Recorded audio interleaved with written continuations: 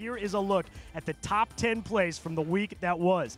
At number 10, Liberty City's Trinell Troutman. And just a great scoop and score here. We saw a lot of scoop and scores. This was one of the better one, number 10 on our list. Yeah, you'd see that. Whenever you get the opportunity as a defender to scoop and score, it's all about that. Well, at number nine, Jameer Dismukes gets the ball. Now watch the block here, guys. Wham! Are you kidding me? That's exactly what you want to see. Turn that interception, get it down. But yeah, great block that made that play.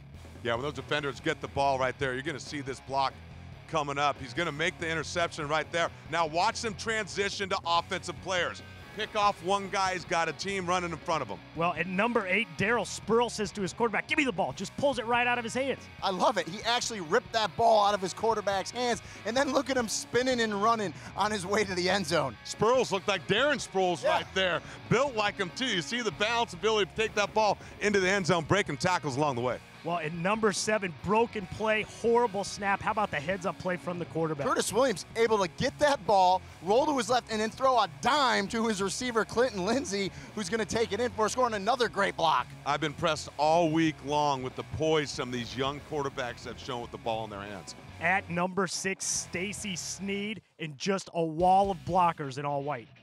I love this, and I know DDI does too. Look at the offensive lineman out in front. Everyone's going down the field, picking up blocks on his way to the end zone. Yeah, that's when you're as a returner and return that ball. You're trusting your teammates to get out in front of you and great vision ability cut back. Number five, Sonny Eugene from Greensboro. Guys, watch this. His goal is to let every yeah. player on defense touch him before he gets the touchdown. If it was flag football, he might have been down because everyone did touch him, but they're not tackling him. I tell you, I don't know if it was poor tackling, but outstanding running either way. But you see his ability. You're right. I think all 11 defenders did touch him on that play. Well, right here, Hayden Glenn says, "Give me that ball." With the INT. That's like a rebound. He's fighting for it. He rips it right out of the receiver's hand, and he's not going to be stopped on his way to the end zone. That's what you call real toughness right there and determination. Again, look, his teammates are fired up. Watch him high point the ball, and go over the top of the receiver and take the ball away from him and he's not settled to go down. He wants to score, and he does. Man, you said that with a glint in your eye. You like those tough guys, DDI. Absolutely. At number three, Francisco Barrero Sanchez. Just a little slip screen, but watch this. You know, 85 yards later, he's going to break a couple tackles, show you his speed on the way to the end zone. Impressive run by that young man.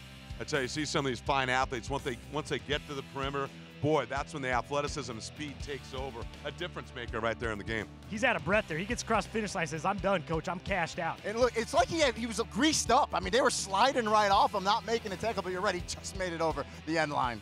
At number two, Jensen Beach, Tyrese Jackson. Great pick there, but much better afterwards. DDI? Yeah, Tyrese Jackson, he was on fire all game long. And his ability to focus on the football, catch the tip ball, and then – transition to an offensive player and break that many tackles on his way to the end zone for six. You know, I'm still upset with Bristol, our uh, home base, that this didn't make Sports Center top 10. It was a nominee, but that's just a phenomenal play. Well, we did have a Sports Center nominee, not only a nominee, the number one play of the night right there, Garrett Denny. Minitron, we were calling him, and as he lays out. Minitron laid out like a guy that was six foot six there covered some real estate. Great throw by his quarterback. That's a great catch. I don't care if it's the NFL, college, or Pop Warner. Well, you saw the opposing coach there. You could read his lips. He said, My goodness. We agree, coach. My goodness. Unbelievable play. Garrett Denny, the number one play of the week at Pop Warner Super Bowl.